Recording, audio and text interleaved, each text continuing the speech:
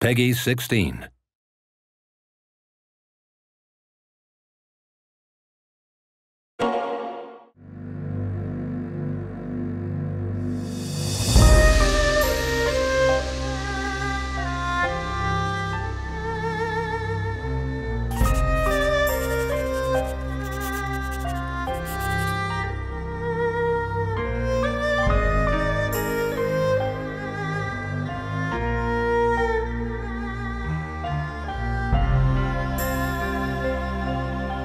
When the game first came out, I didn't know what to make of it. It was this big thing that I just couldn't quite wrap my head around. Fuchsa! Fuchsa! Everything about it is kind of like slow and the momentum is going. You're not quite getting it. And then you realize that's the genius of it. It's engrossing you into the story and you become part of that world, of that game. Father! Stay back, Mule. I didn't know what to make of it at first because it was a a very unique and it was very slow paced and you had to get to understand the story and what had happened. But the more you explore the real world of Shenmue, when you get out of uh, Ryo Hazuki's house and into Yamanose and then Sakuragaoka, it opens up and suddenly you're drawn in and engrossed into this world, engrossed into the story of Ryo Hazuki who's trying to avenge his father's death. Father! No! And so getting drawn into that story was phenomenal because that, a video game had never done that before. Not like this where you had characters that you know you felt that you could relate to. Ryo-san, where are you going? You're not going after them. And that's why it has really created such a huge fan base of people that are utterly devoted to it because it just touched a part of your, your, your heart, your soul, your mind. It took a brave step in trying to really make you feel like you were part of this other culture, especially to us and those in the West.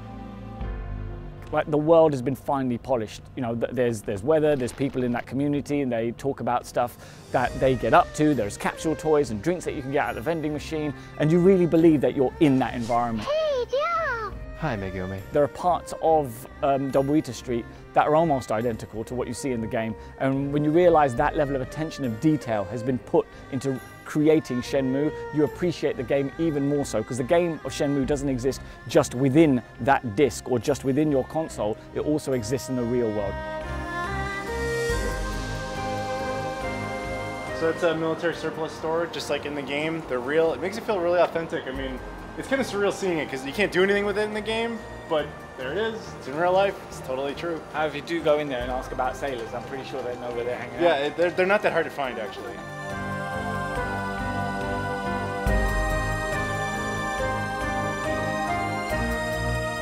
So we're standing outside Tom and Jack, which uh, pretty sure is the inspiration for Tom's hot dogs in the game.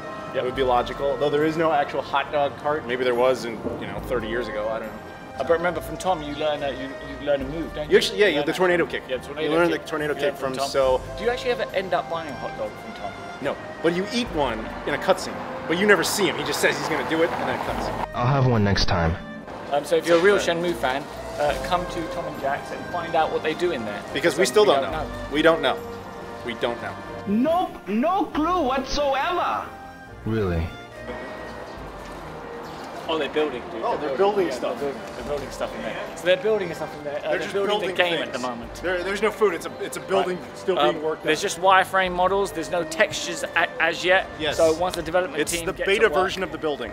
it's exactly what Yeah, that is. it is the And beta when it's version. finished, it'll be a hot dog stand in the street Eventually. with a dancing man uh, with a very funny accent. yes. Try my homemade pickles. They're guaranteed to make you happy. Uh huh. I'll drop by later.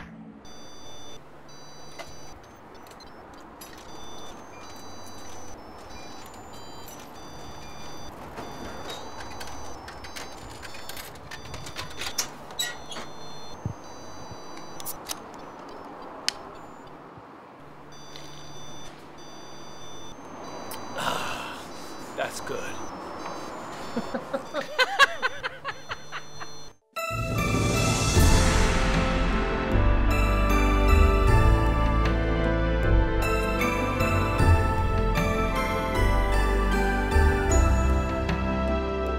my mind is blown that Shenmue 1 and 2 are coming back for a brand new audience. It, it just means a lot and it says a lot that the community cares and that Sega cares and that we're still getting this. It's, it, I mean, for the longest time, we were so excited when we got a new t-shirt coming out. Now the actual game coming out is just amazing. And what I'm really excited about, it's going to bring a whole generation of people who missed out on Shenmue to get into Shenmue, appreciate the game and love it the way that we do. Just overall, man, it was such a transcendent experience, for lack of a better way of putting it. It, it just, it really was more than a game. It was an experience. That's the best way I can put it.